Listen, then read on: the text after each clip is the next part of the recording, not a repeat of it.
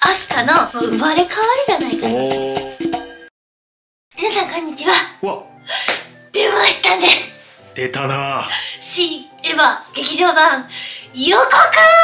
出た。ー特報じゃなくて予告。ついに来たね。なんか映画館で予告流れてるらしいで、ね。うん。クリスマスに。見たい。安野さんだからシャンシャンシャンシャンシャンシャンクリスマスプレゼントがはいどうぞ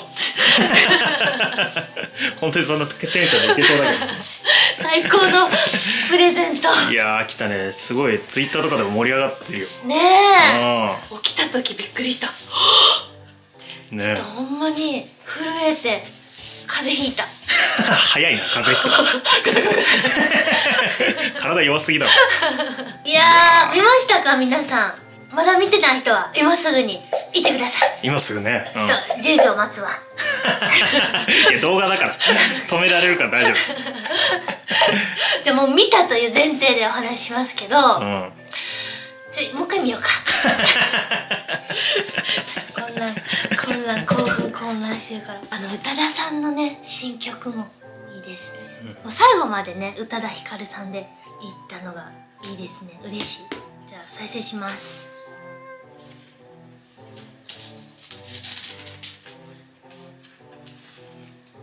最初のね十数秒がもうタイトルを結構たっぷり見せるんですよ。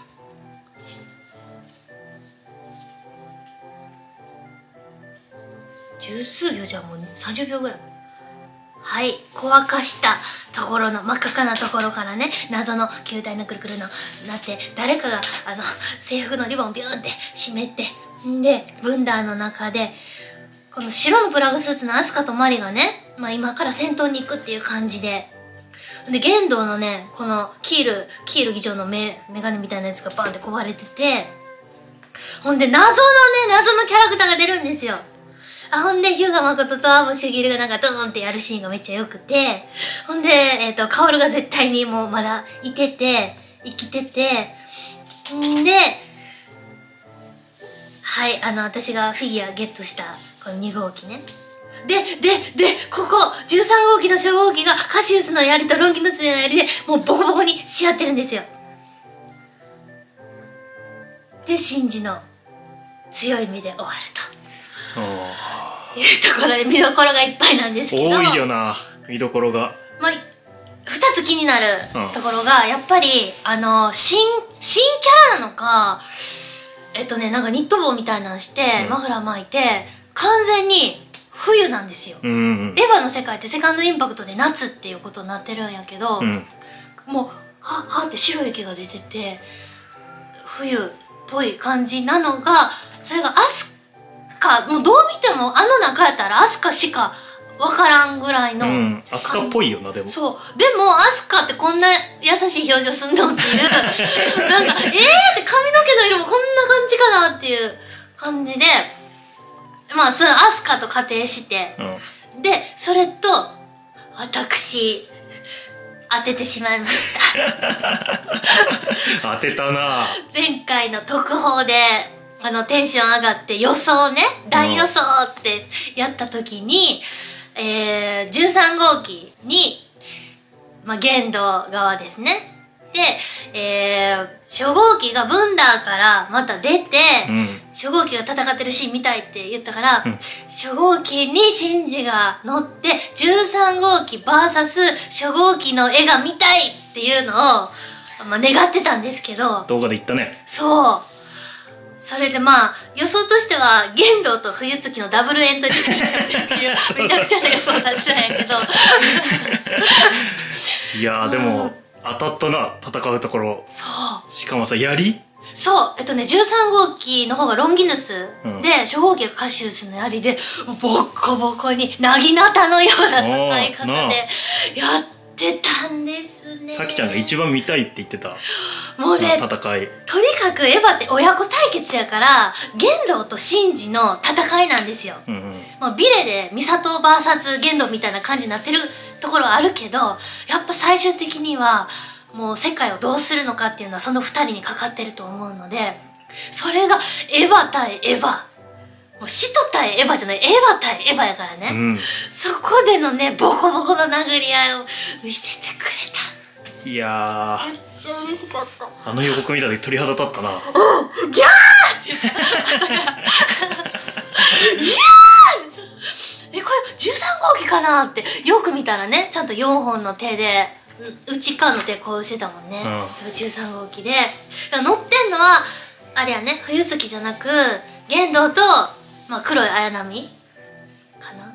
そうだね。誰が乗ってるのか分かんないけど玄道が乗ってたら熱いね。玄道乗ってたら熱い。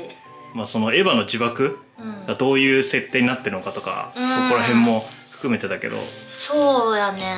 だから14歳で乗れる乗れへんみたいなところがその新劇場版で生かされてるのかちょっとどうなのかなっていうところとまあ薫が13号機になるって乗るっていうのはありえへんからうん。薫、は信じ側やと思ってそうするとやっぱりあのまあ黒霊がと玄道が乗ってる。うん。うん、っていう感じかな。あと特報でちょっと皆さんね一番考察してたのがあのアスカとマリが白いプラグスーツで、まあ、これもなんか2人でダブルエントリーシステムでシンジとカオルが乗った時の永遠にそっくりにされてるっていうので、うん。そしたらカオルが死んじゃったからマリが死んじゃうんじゃないかっていう死亡説がね、うん。流れてるんだけど、まあ、そこのあのまあ2号機のねすごいあの戦いでどうなるかっていうところが私はアスカが好きやからアスカがちょっと一番注目されるとこなんですけどそのあの冬のさマフラーまとってるアスカが、うん。あの世界のアスカじゃないと思うねん。アスカやったとしたら。はいはいはいはい。あのテレビ版のラストみたいにさパラレルワールドというかこんな世界もあったよねみたいな感じであの幼なじみっていう設定でちょっとあったでしょ？うんあったあった。シンジが寝坊してアスカが幼なじみを起こしてくるみたいな、もういつもあの寝坊するんだからみたいな、うん。そうで食パン加えて綾波がタッタッタッタみたいな、うん。ああいうえっとね違う世界になった後のアスカかなって私はちょっと予想して。おおなるほど。でナウシカですよ。ナウシカ？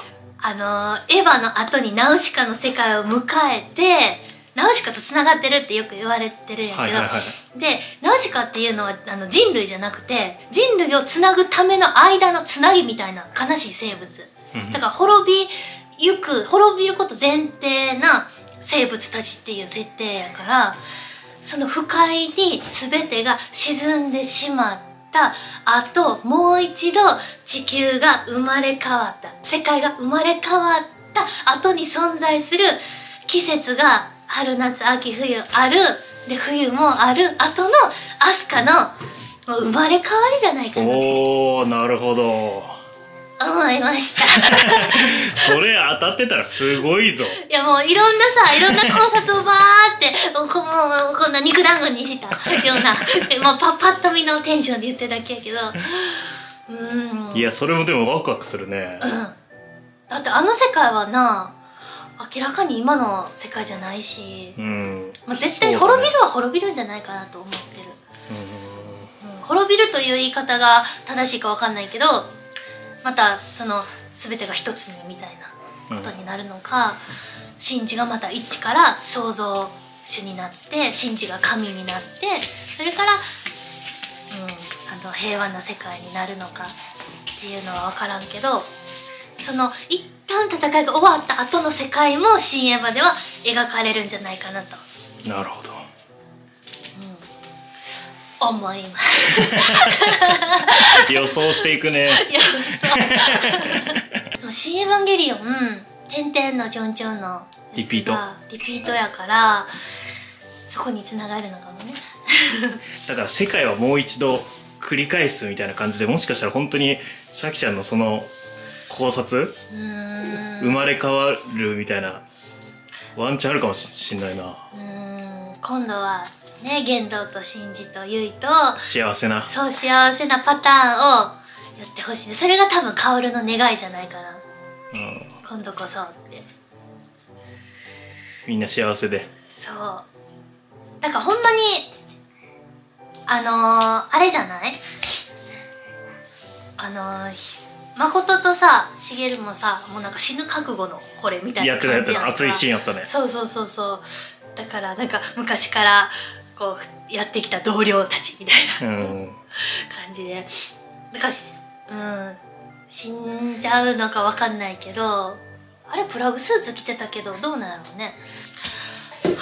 ということでえー、1月23日ですね。もう予告新しいの出えへんやんなどうだろうね。うーん逆にもうこれ以上はちょっともうほんまに本番本ちゃんみたいな。んか頭がぐるぐるしちゃいすぎるから。はい皆さんすごい楽しみになってきました。1月23日楽しみに待ちましょう。コロナ対策もバッチリしましょうねそこだけはもう国民全員で頑張りましょう。本当に気をつけながらまた9年間の思いをぶつけに行きましょう、はい。ではサビサビス。星屑さ